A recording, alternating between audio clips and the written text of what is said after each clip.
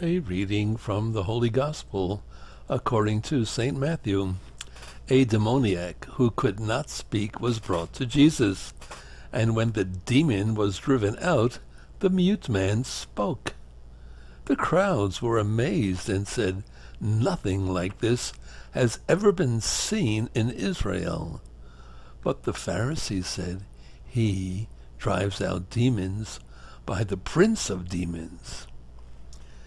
Jesus went around to all the towns and villages, teaching in their synagogues, proclaiming the gospel of the kingdom, and curing every disease and illness.